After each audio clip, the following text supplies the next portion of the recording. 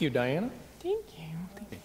Hey, uh, good morning, everybody. Welcome to uh, First Christian Church in Fort Smith, uh, to our uh, online audience that'll be uh, watching later, and to uh, those of us here assembled.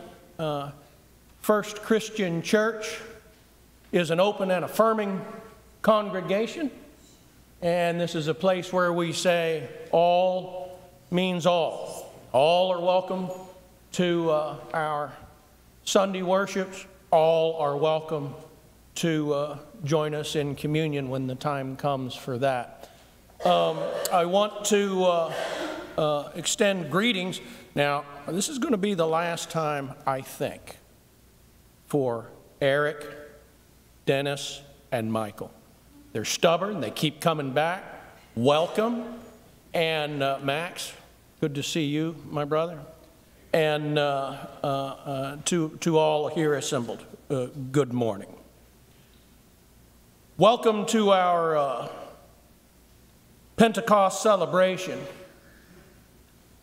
On this, the 50th day of Easter, we commemorate when the Holy Spirit descended upon the disciples of Jesus Christ.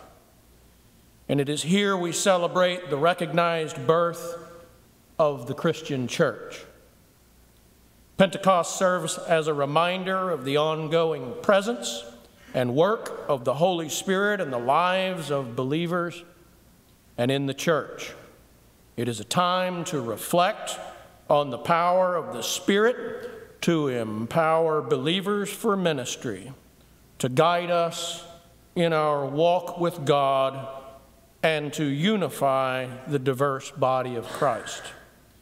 We celebrate Pentecost focusing on themes of spiritual renewal, empowerment for mission, and the unity of believers in the Spirit. Would you please join us for our opening hymn on Pentecost They Gathered? It's page 237 in your hymnal.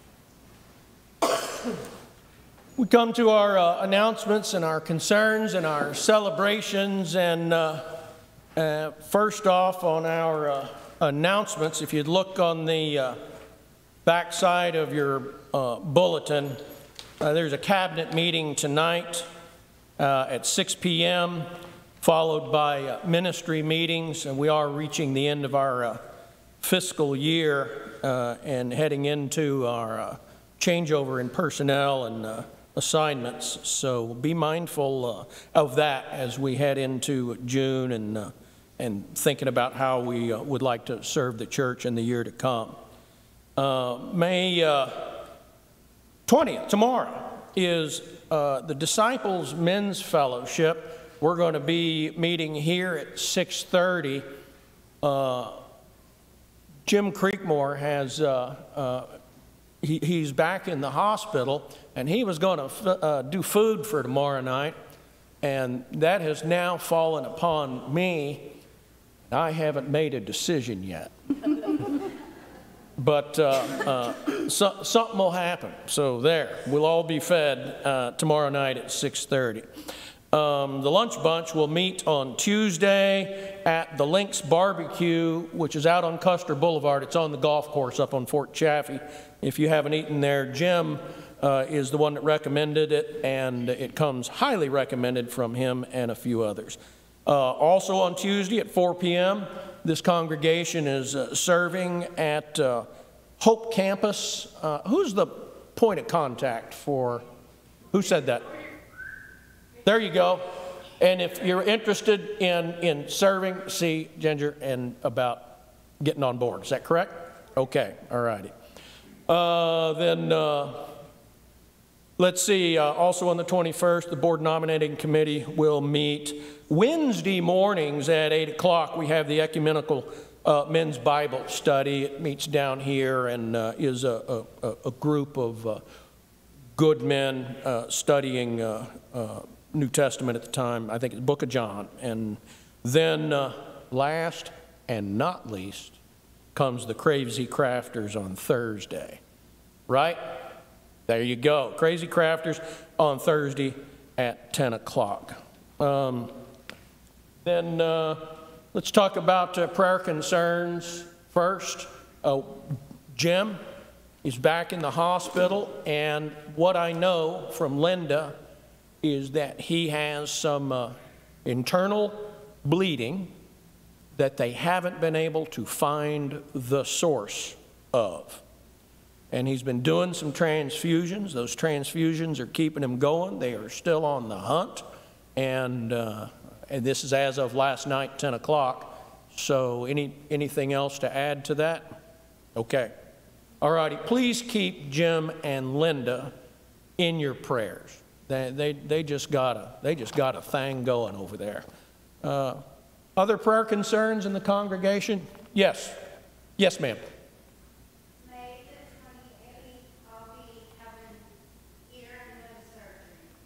May 28th, Leslie's going to be having ear and nose surgery. All right.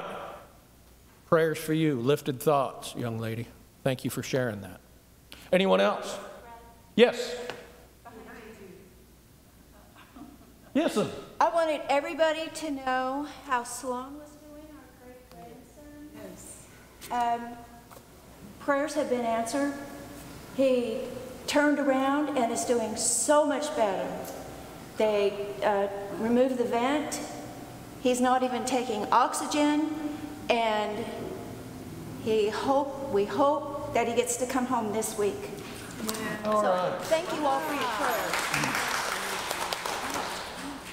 And you were kind of under a microphone. Did everybody hear that? Okay, all righty. Thank you for sharing that. Wonderful. Any others? All right, celebrations, anniversaries, birthdays. The good news. Here we go. Anyone? Anyone? Yes, sir.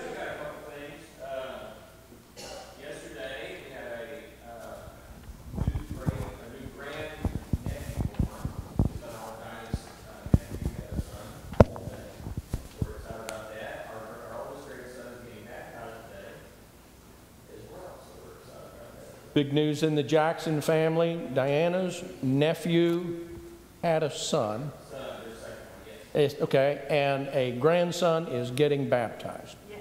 In the Jack, yeah, good news for the Jackson family. Thank you, thank you. To the pleasure of most everybody, surprise of many, my uh, grandson Hunter graduated this last week.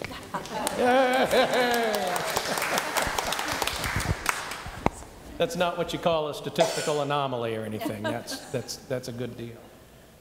Others, anyone? Leslie. Yes, ma'am.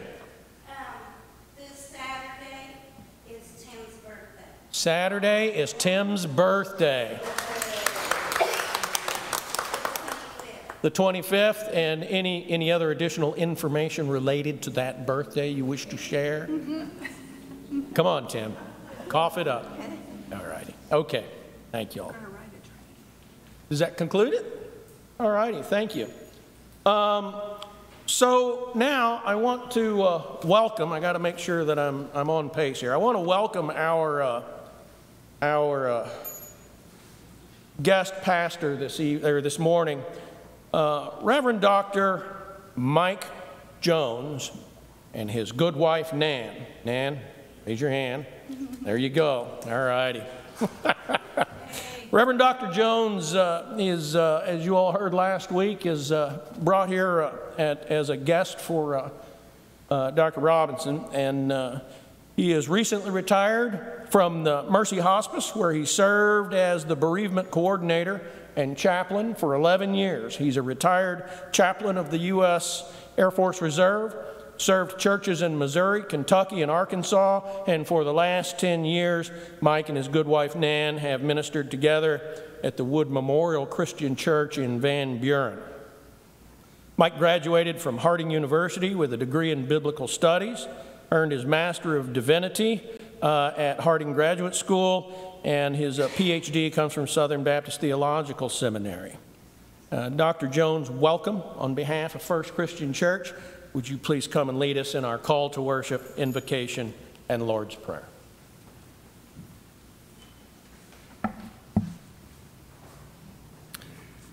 Let's pray together.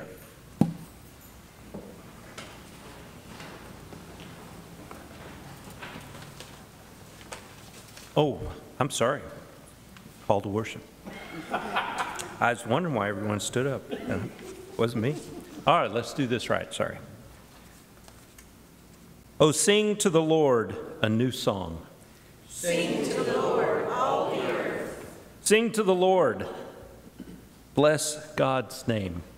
Proclaim God's salvation from day to day. And now we'll pray. Holy Father, we give you thanks.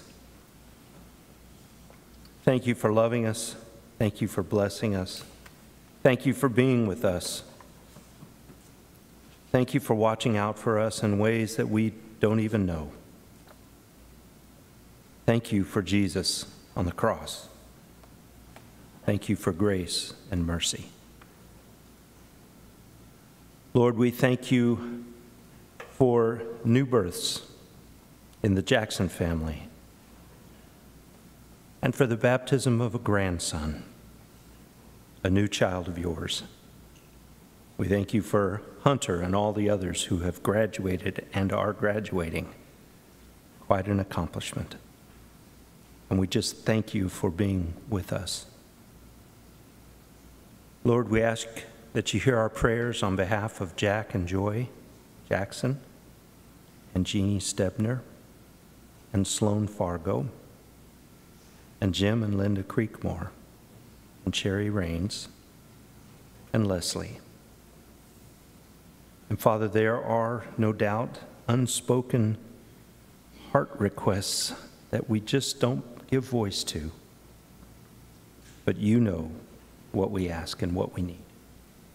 We pray that your will would be done in our lives and in the lives of those that we love. Be with us throughout this service and give Ellis and Sabrina a safe trip home. For we pray in Jesus' name.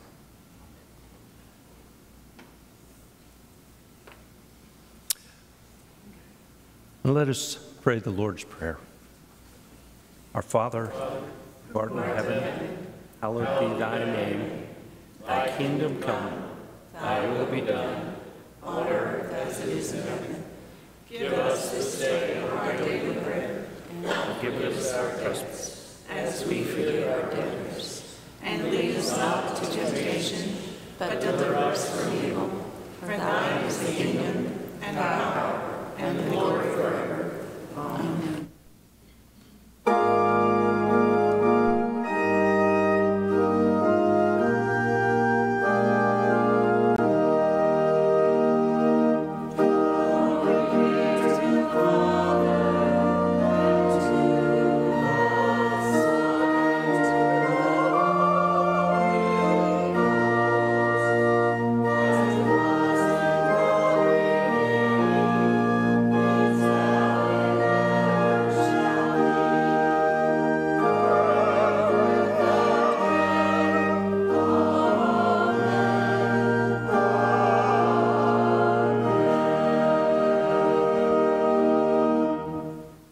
Be seated, please. The Christian Church, Disciples of Christ, is an American born denomination with origins in the early 19th century American frontier. Since their beginning, the Disciples of Christ have endeavored to increase respect, understanding, and unity among believers in Jesus Christ. As disciples, we strive to follow the teachings of Jesus and the New Testament by practicing a faith that is socially relevant and intellectually sound.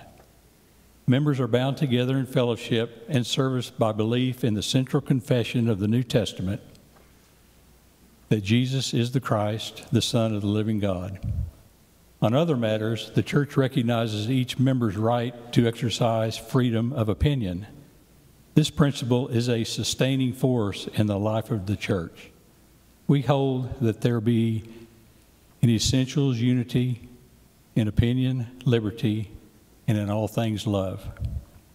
Our Pentecost offering, which is being given today, will help to birth new and aid in growing disciples of Christ churches so that these beliefs will be available to any Christian in the United States that finds that our denomination might coincide with their ideas of what church means to them.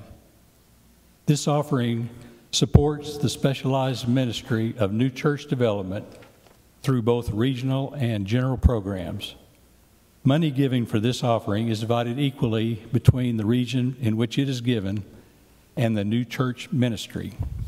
Your gifts to this 2024 Pentecost offering will help to make these things possible. Please give as you're led. Thank you.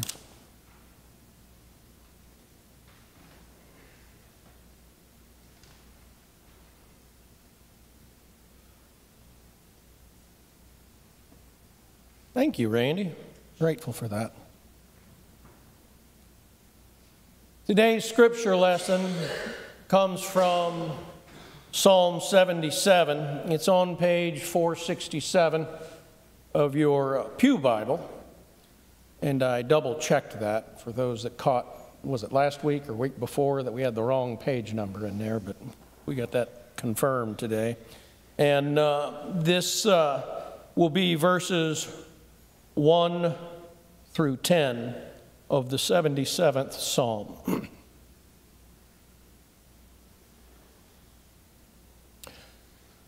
I cry aloud to God, aloud to God that he may hear me. In the day of my trouble, I seek the Lord. In the night, my hand is stretched out without wearying. My soul refuses to be comforted. I think of God and I moan, I meditate, and my spirit faints. You keep my eyelids from closing. I am so troubled that I cannot speak. I consider the days of old and remember the years of long ago. I commune with my heart in the night. I meditate and search my spirit Will the Lord spurn forever and never again be favorable? Has his steadfast love ceased forever? Are his promises at an end for all time? Has God forgotten to be gracious? Has he in anger shut up his compassion? And I say, It is my grief that the right hand of the Most High has changed. This is the word of God for the people of God. Thanks be to God.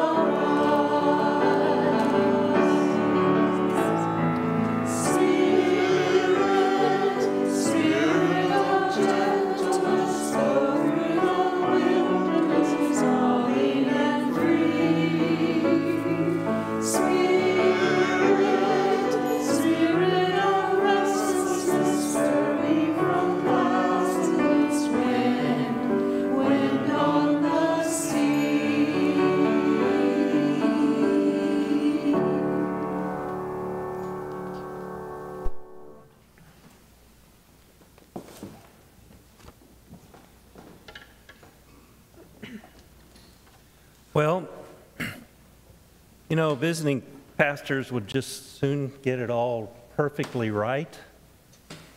And I have flubbed it up two or three times already. So I don't have to worry about being perfect. so I'm just going to be me. First, I want to thank Diane and the choir, and Brad and Randy. And uh, I want to tell you a story about Ellis before I actually start with Psalm 77.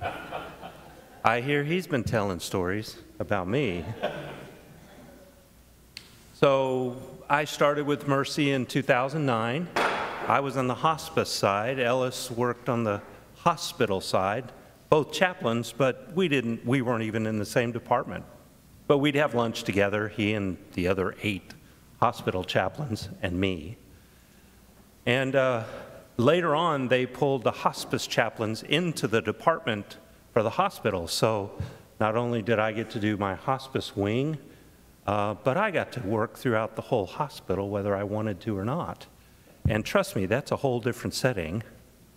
Well, along with that new duty came weekends. I didn't have to work weekends, hospice. But when you were one of the hospital chaplains, you rotated weekends, which meant you came in on Saturday from 7:30 till about 5 or 6. And then you went home and you were on call. And you know they still use those little nasty beepers. And I say nasty because the one I had had no volume control and it was set to loud. And so if you were asleep when it went off, I would I used to stress, and can verify, I couldn't go to sleep when I knew I had the pager on because I was waiting for it to jar me out of sleep. So one Saturday I go into work, it's my weekend, and by the way, you're by yourself. There's no other chaplain there. All day, all night, all Sunday. You don't get off until about 5 or 6 o'clock Sunday night. So it's a long shift. So I came in one Saturday morning, it was my weekend, and I just didn't feel quite right. But hey, it's your weekend and there's no backup. So I go in and I got there about 7, 7:30 and I'm doing the stuff and I'm just about ready to get out get out on the floor. And Ellis walks in, which wasn't unusual. For some reason, he seemed to think he needed to show up around 9 or 10 o'clock on a Saturday, even when he wasn't working. And he walked in and he looked at me and he said, You don't look too good. And I said, I don't feel too good. I think I got a fever, but I got to work. And he said, Oh, okay. And about 20 minutes later, he came back and said, I just called Sabrina and told her I was going to work the weekend. Why don't you go home? I was sick until Wednesday when I returned to work. So I was sick. But he took my weekend and he worked all day Saturday, on call Saturday night. I don't remember if he got called in, but it wouldn't have been unusual to get called in four or five times. And then work all day Sunday. And he did it on the spur of the moment, and he didn't have to do it. That's the kind of pastor you have. And he'll do that for you when you have a need. He'll be there. That's when Ellis and I really became good friends. Didn't hurt that I gave him a $50 gift certificate to Red Lobster or something either. But, you know, not that I had to bribe him, but that's, that's Ellis. And I will never forget that. And frankly, I don't know if I'd have done the same. It was a lesson. Well, let's get into Psalm 77. Um, Brad, when we were talking about reading it and everything, he said, you know, this is, those first 10 verses are really a downer. And he is absolutely right. There's only, I guess there's a couple of Psalms that might be worse. Psalm 13, by the way, is, oh my goodness. That, don't read that when you're in having any depressive thoughts. It's tough. But 77 is a tough psalm. It starts out really hard. Asaph, Asaph had been assigned by King David back in the time before the temple to be the leader of the temple singers that sang before the Ark of the Covenant in the sanctuary. And so he wrote, we have at least, uh, well, Psalm 50 and then 73 through 83 are the Psalms that are ascribed to him. And what I love about Psalm 77 is its honesty. It's honesty. Now, I originally read this in the New Living Translation, which is a little different than your New Revised Standard Version. So I'm going to read those verses again with that because I'm going to use that. And I want us to talk about this. And I want us to wrestle with this psalm. Uh, and I think we'll be better for it. Pray we are. I cry out to God Yes, I shout, Oh, that God would listen to me. When I was in deep trouble, I searched for the Lord. All night long I prayed with lifted hands toward heaven, but my soul was not comforted. I think of God and I moan, overwhelmed with longing for his help. You don't let me sleep. I'm too distressed even to pray. I think of the good old days long since ended when my nights were filled with joyful songs. I search my soul and ponder the difference now. In this psalm, Asaph is clearly struggling with something, a situation perhaps. We, we don't know for sure. But it was causing him deep trouble. He prayed and prayed and was never comforted. He couldn't sleep at night.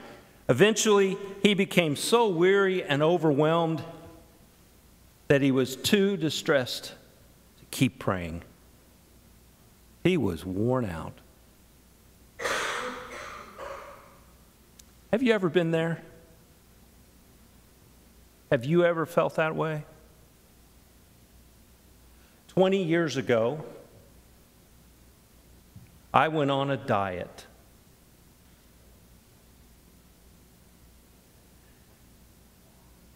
In five weeks, I lost 40 pounds. It was not a diet of choice. It was a critical situation going on in my life. I averaged two hours a night. I probably ate maybe 250 to 500 calories a day. I don't know. I wasn't counting them, but I wasn't eating either. And then in the middle of the night, when I couldn't sleep, I'd get up and go run. At the time I was in a hotel, I would go into the gym with the permission at 3 o'clock in the morning and watch reruns of Star Trek and ride miles and miles on an exercise bike.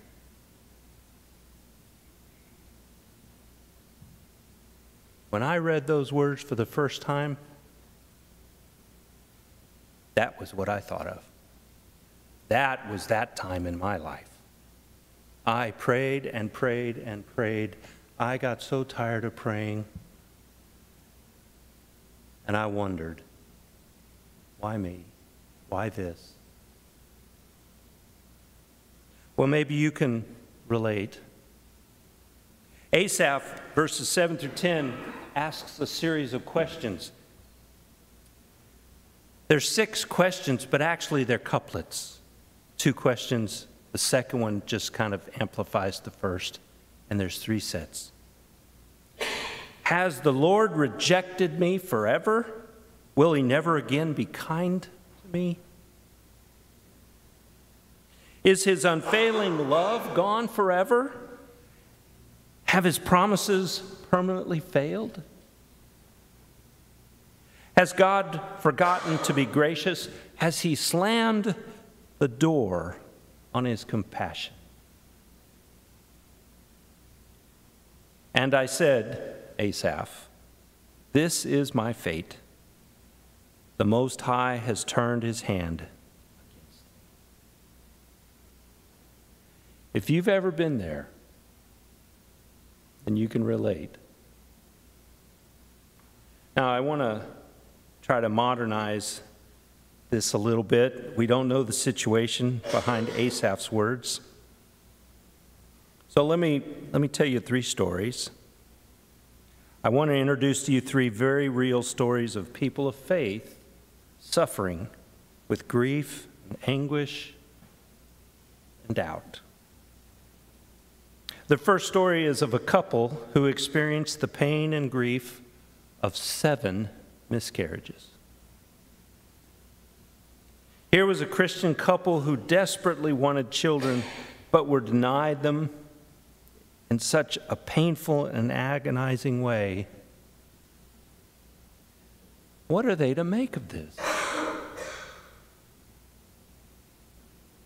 The second story involves two people who are very important to me in my early walk with the Lord Mike and Marilyn Montgomery.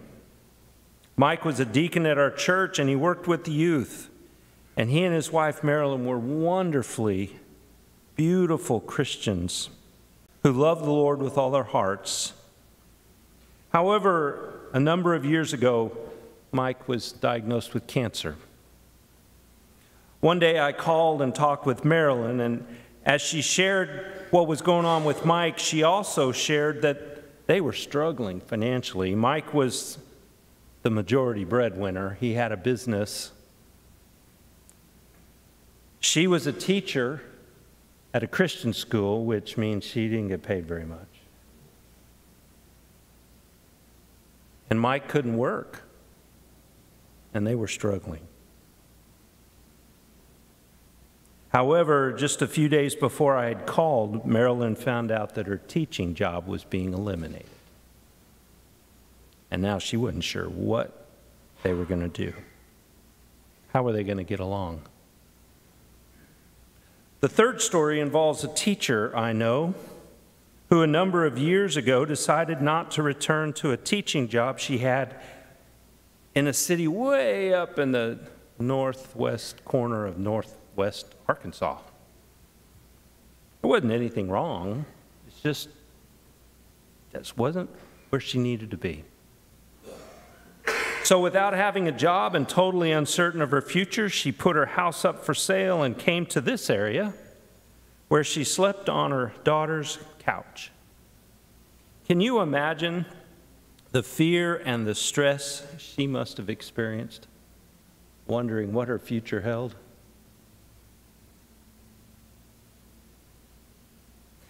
Asaph, he felt such anguish, such agony. He had such doubt. He was so dejected that he said in verse 10, This is my fate. The Most High has turned his hand against me. But, but the psalm doesn't end there. Asaph's story doesn't end there, not by a long shot. Listen to what happened. Listen to what Asaph did. And as you relate to where he was in those first 10 verses, and you wonder about what's going on in your life right now, learn from Asaph. Asaph remembered. That's it. He remembered. He looked up past his anguish and his distress and his doubts. He forced his eyes and his heart to look past the hopelessness of his situation and he focused on God and he remembered. And that made all the difference. Let me read, starting in verse 11, Again, from the New Living Translation. But then I recall all you have done, O Lord. I remember your wonderful deeds of long ago. They're constantly in my thoughts. I cannot stop thinking about your mighty works. Asaph thought about, reminded himself of all the things God had done, he remembered. He remembered he wasn't alone. He remembered that God had done some wonderfully powerful things in the past, and he could still do them in his day. Verse 13, O God, your ways are holy. Is there any God as mighty as you? Are you, you are the God of great wonders. You demonstrate your awesome power among the nations. By your strong arm, you redeemed your people, the descendants of Jacob and Joseph.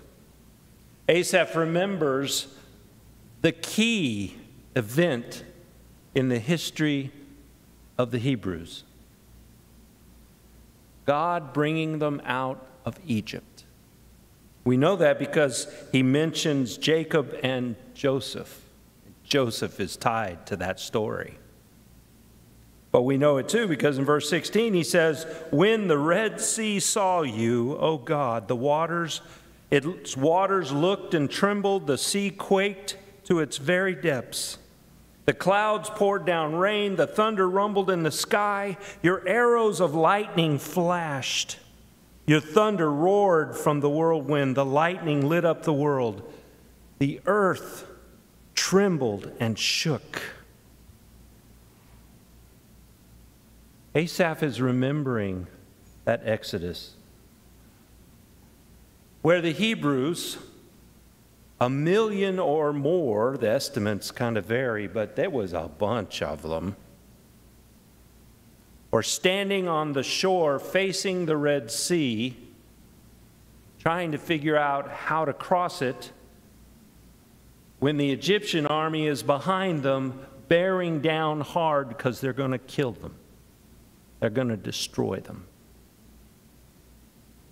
The enemy is to their back,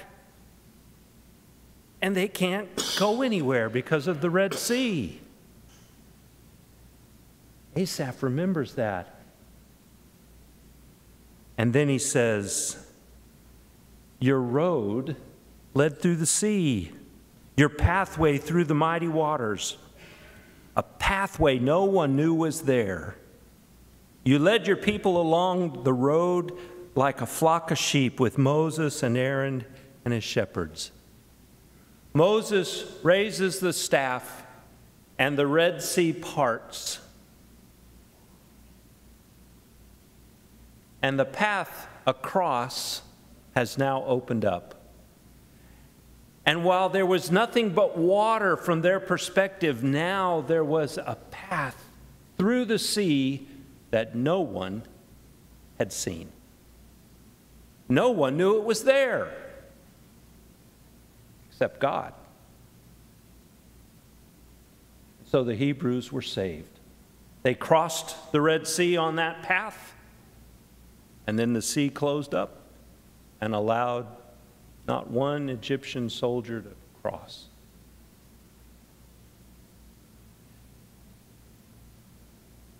a pathway no one knew was there.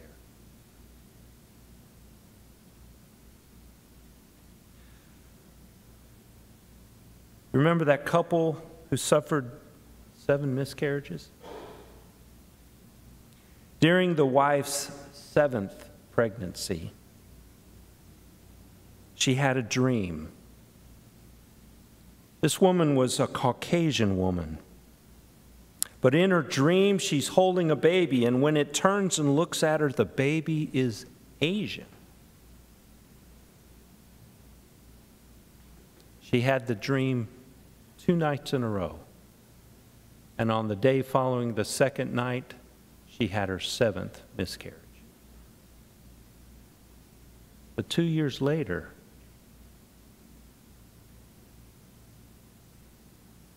Two years later, she's standing in China holding her brand new baby girl. Chinese baby girl. A pathway she couldn't see. No one knew was there. God cleared the way. Marilyn lost her job.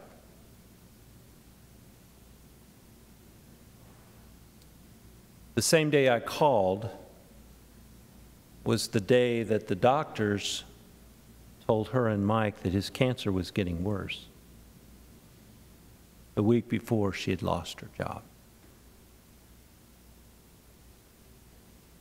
The thing was, Mike was so bad that he couldn't care for himself at home during the day because Marilyn was working and so was their adult son. But now Marilyn stay with him during the day. What was thought to be a terrible thing, losing her job, turned out to be a pathway no one knew was there. So, for the last few weeks of his life, Marilyn was able to be with him and share the joy and the laughter and the tears to be together.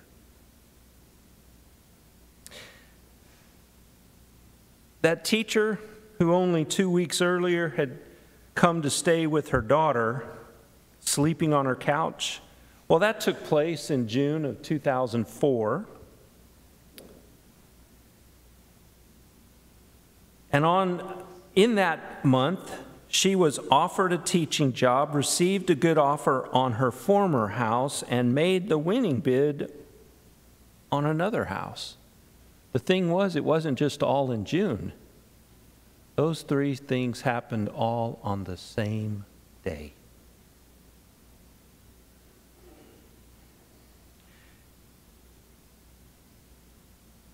And that's how my wife, Nan, came to live in Barling.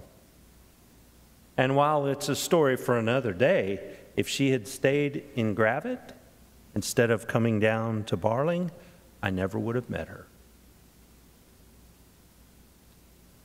A few pathways. So, what's my point?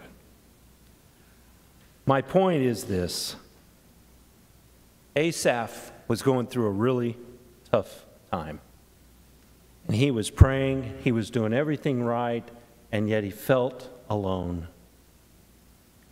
And then he remembered God.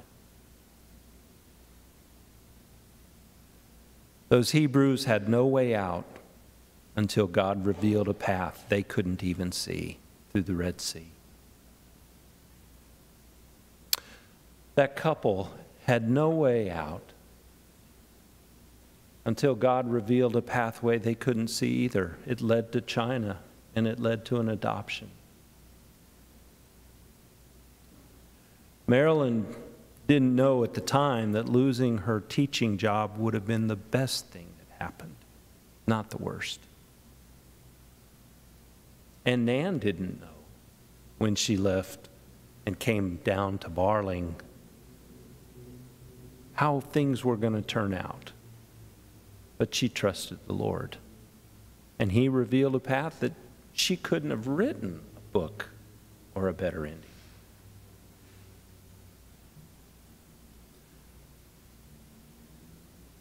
Don't give up. Even when you feel hopeless and lost and you can't see a way out, don't give do like Asaph. Remember God. Remember that He is the God of all gods. There is no God like Him.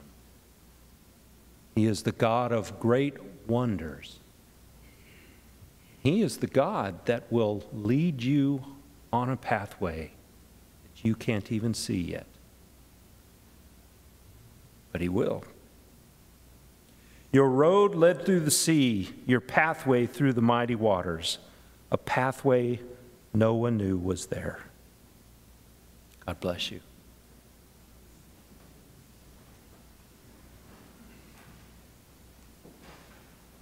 Thank you.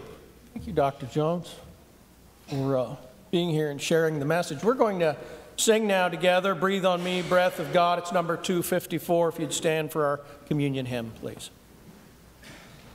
I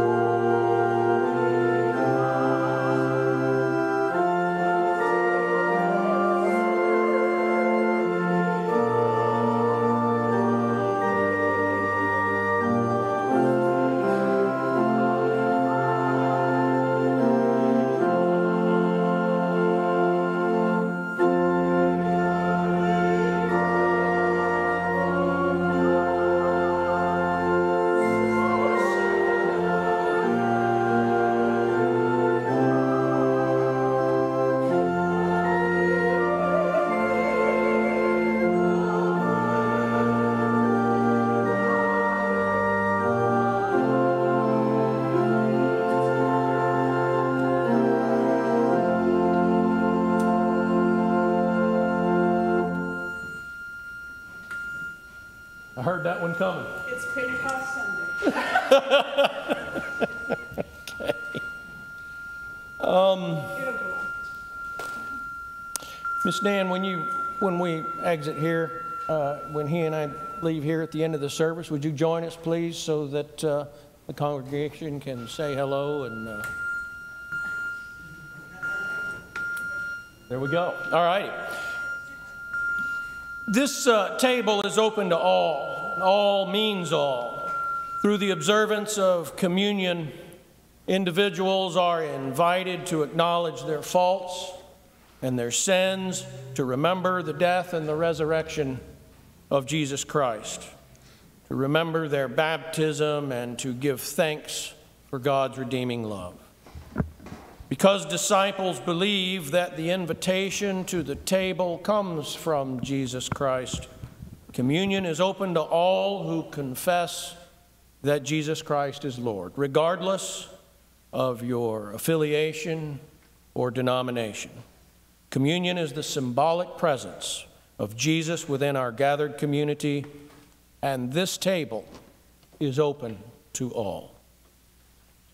Since 1967, the 12 walls of this uh, building and the three sides of this uh, table, the, the, stippled metalwork, and uh, this cross made of uh, horseshoe nails, these are all designed to bring our attention, our focus, and our thoughts to the state of humility centered on what, it is, on what is about to occur at this table. Last night, I had the pleasure of uh, having dinner uh, with uh, the daughter or the granddaughter. I can't remember exactly what she said, but uh, the Packard family that brought our Rosetta over from Europe so long ago.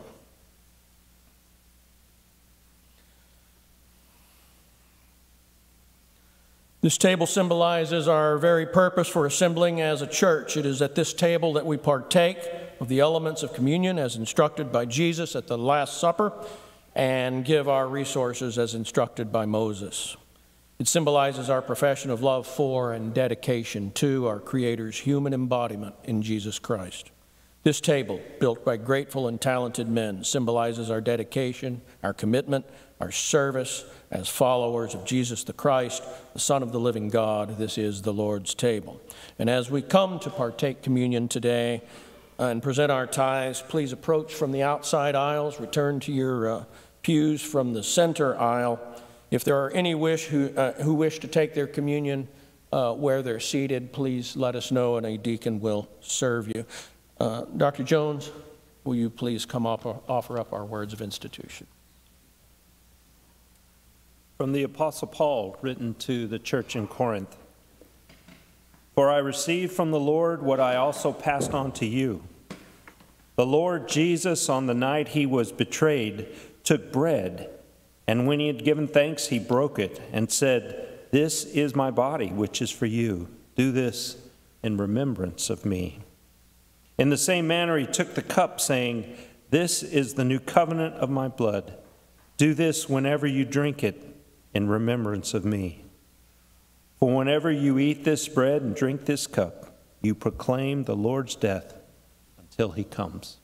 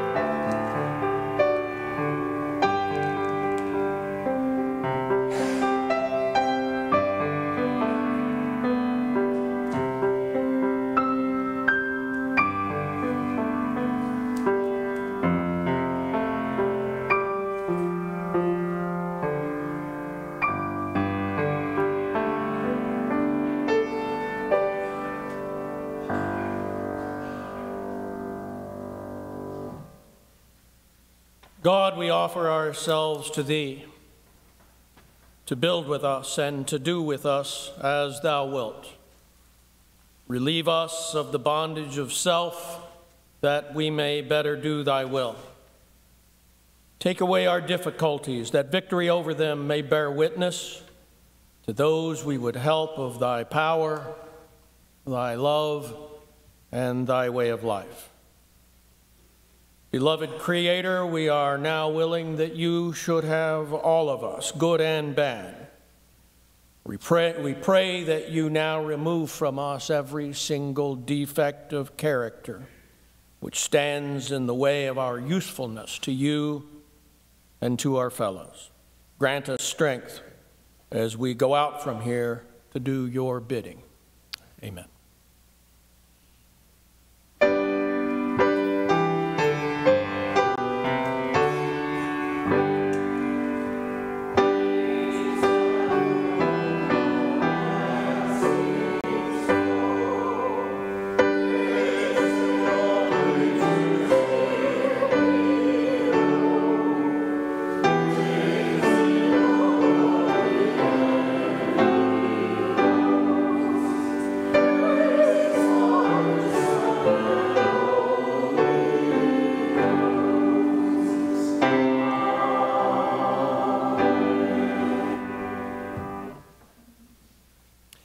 Invitation of discipleship.